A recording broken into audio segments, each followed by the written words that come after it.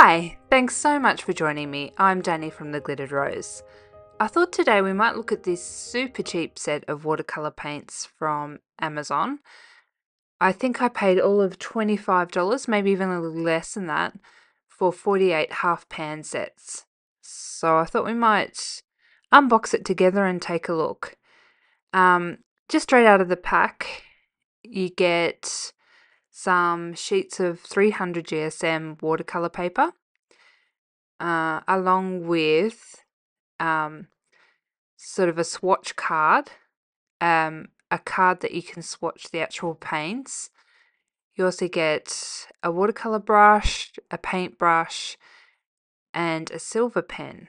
So I'm pretty pretty impressed with everything that you get plus some pamphlets about different items that they sell.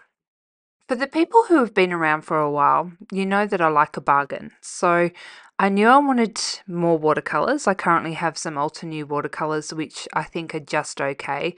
I paid about 70 or $80 for 24 colours. Um, but I wanted something with more variation in colours.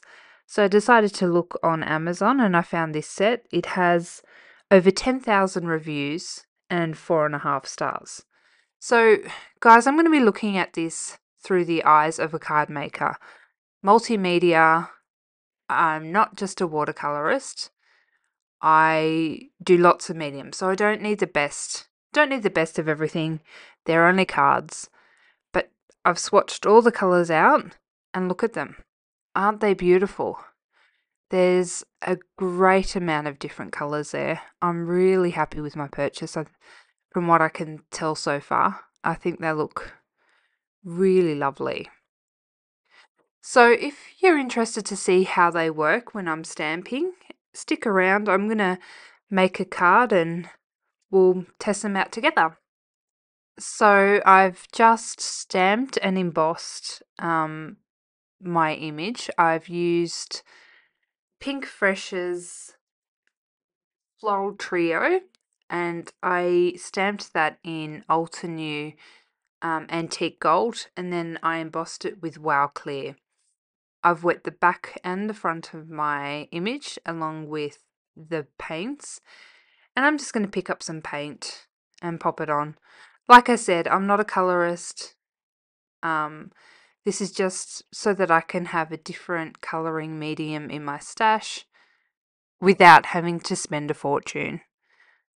I want to take this opportunity to thank everybody who has commented, liked, and subscribed to my channel. Um, if you're not a subscriber, please consider subscribing. I'm two off 200.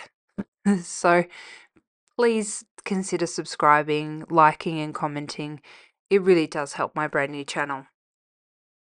So straight off the bat, I love these. They're really pigmented, they're smooth, they really water down for that um, painterly effect, and I'm really happy. I think so far they look great. I'm going to fast forward through a lot of this painting because you don't need to sit here and watch the whole thing, but I think if you can just see how I put them down quickly, that might be nice. So I'll just speed up the next section of this video.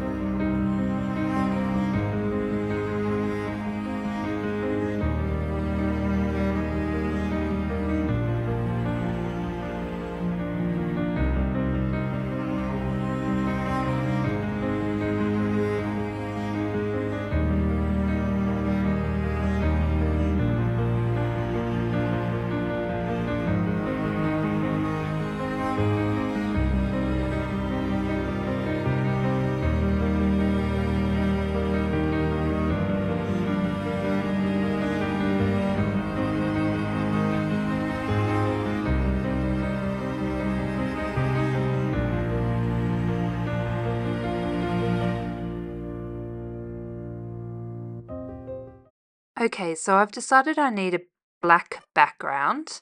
So I'm just filling in the white space with some black watercolor. The fantastic thing about um, heat embossing is that it gives you the walls. So you don't need to worry too much about muddying up your coloured areas. I'm going to be die cutting it out, so I'm not worrying too much about everything being perfect. I just want that dark, dark space around the flowers. I'm going to use Pinkfresh's nested circles to die cut this image out. And then I'm also going to die cut out um, another circle, but first I'm going to hot foil a circle on some black cardstock. The great thing about these nested circles from Pinkfresh is that they've got stamps to go with the circles along with die cuts and hot foil plates. So it's a great set. So I've got my hot foiled circle and I really wanted that sort of aged, almost tarnished look with the black coming through the gold. So I'm just using some sticky tape to pick up some of that foil to give it that sort of mottled, mottled look. And I think it's working. I'm not sure if the camera can pick it up, but it just takes off some of that gold foil. Okay, so it's time for the sentiment now, and I'm inking up a stamp from Pinkfresh Studios Beyond Happy stamp set, and I'm inking it in the same antique gold ink pad from Altenew, and I'm going to emboss it using the Wow clear embossing powder. You don't need to see me do this, so I'll um, do this off camera. I ended up putting the card together off camera. I think sometimes it's a bit boring sitting and watching somebody glue all the elements together. So I die cut four pieces of cardstock out for the sentiment and layered that up together. And then I die cut out a circle for the flowers out of pop up foam just so that it has a little bit of dimension. I'm just popping down some lovely enamel dots from Altenew now. I absolutely adore my Artistro watercolor paints. I highly recommend them, especially if you're a card maker. If you end up purchasing a set, I would love to know, and I'd also like to know what you think of them. Thanks so much for watching till the end. Please be sure to hit the like and subscribe button. It really helps my channel. Thanks again. Till next time. Bye.